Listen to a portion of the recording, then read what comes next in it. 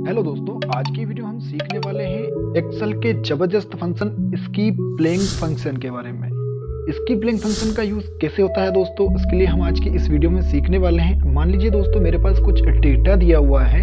यहाँ पर जैसे, यहाँ पर कुछ मंथ के नाम लिखे हुए हैं, लेकिन यहाँ पर कुछ सेल यहाँ पर ब्लैंक लिखी हुई है। ठीक है, अब मुझे क्या करना है, इनको फिल करना है। अब जैसे मेरे पास ये डेटा लिखा हुआ है, अब मैं चाहता हूँ, चाहूँ तो एक एक करके यहाँ पर कॉपी कर लूँ।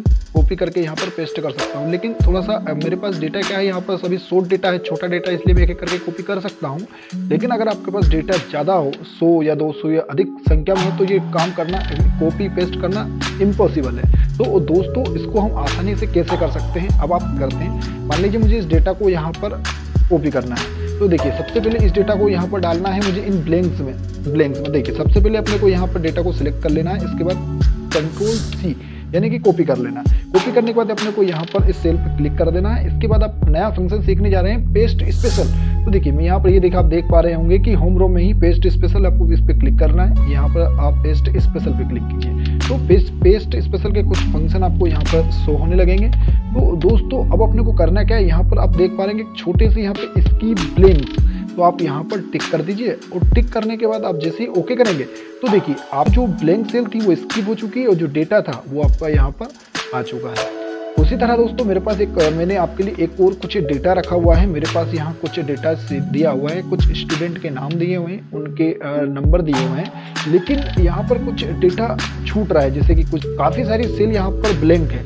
अब आपसे कोई ये कहता है कि आप ऐसा कीजिए कि इन डेटा में जो ब्लैंक है, या तो आप इनको ज़ीरो कर दीजिए, या या यहाँ पर कोई डेज़ लगा दीजिए, या एबसेंट डाल दीजिए, जो भी आप करना चाहते हैं। तो आप कर दीजिए। लेकिन देखो, यहाँ पर अभी क्या है कि पंद्रह स्टूडेंट के नाम है तो आप एक एक करके भी यहाँ तो ज़ीरो लगा सकते हैं ब्लैंक लगा, या भी कोई डेज़ लगा सकते हैं। लेकिन दोस्तों, अगर आपके पास यहाँ पर डेटा अधिक मात्रा में हो, या जैसे 200 डेटा हो, या 300 स्टूडेंट के नाम है 400 500 जो भी अधिक मात्रा में हो तो आप एक एक करेंगे थोड़ा सा टाइम लग सकता है। तो इसके लिए सबसे पहले अपने को करना क्या है कि अगर आप एक साथ करना चाहते हैं तो सिंपली अपने को देखिए, मुझे इनमें करना है तो सबसे पहले इस डेटा को आप सिलेक्ट कर लीजिए। सिलेक्ट करने के बाद अपने कीबोर्ड से प्रेस करना है कंट्रोल जी तो आपका गो टू का एक ऑप्शन खुल जाएगा। अब अपने को क्या करना है? जो ये गो टू खुला हुआ है, यहाँ पर आपको आप स्पेशल पे क्लिक कर दीजिए। अब स्पेशल पे गो टू स्पेशल खुल चुका है। अपने जहाँ पर इस पे काम कर रहे थे, वहाँ पे पेस्ट स्पेशल था और यहाँ पर गो टू स्पेशल है। अब सिंपली अपने को करना ये है कि जो यहाँ पर ये यह डेटा दिया हुआ है, इसमें से यहाँ पर ब्लैंक पे आप क्लिक कर दीजिए और क्लिक करने के बाद यहाँ आप ओके कर दीजिए। तो दोस्तों, आप देख पा रहे होंगे कि यहाँ पर जो मेरी ब्लैंक जितनी भी ब्लैंक सेल थी, वो सिलेक्ट होकर आ चुकी है। यहाँ पर कोई डेटा नहीं चढ़ा है। यहाँ पर वो ब्लैंक सेल जो थी, वो सिलेक्ट हो चुकी है। अब अपने को करना क्या है? मान लीजिए मुझे यहाँ पर करना है कि यहाँ पर ज़ीरो लगाना है या कोई डेज़ लगाना है। मान लीजिए मैं डेज़ लगा देता हूँ। तो देखिए, आप यहाँ पर एक्टिव सेल क्या है? आपके यहाँ पर देख पा रहे होंगे एच थ्री तो जो एच थ्री है, वो आपकी एक्टिव सेल है। तो मैं यहाँ पर डेज़ लगा देता हूँ। ठीक है एच थ्री एच थ्री पर डेज़ लगा दिया। अब अपने को यहाँ पर ये बात आपको ध्यान रखना है कि आपको यहाँ पर एंटर प्रेस नहीं करना है। आपको अपने कीबोर्ड से कंट्रोल के साथ आप एंटर प्रेस कीजिए। तो देखिए, आपकी जो सभी ब्लैंक सेल हैं, वो देखिए, आपको वहाँ ब्लैंक सेल पे आपका डेस लग चुका है। और इसी तरह अगर आप यहाँ पर ज़ीरो लगाना चाहते हैं तो मैं थोड़ा सा बेक हो जाता हूँ। अब मुझे अगर यहाँ पर ज़ीरो लगाना है,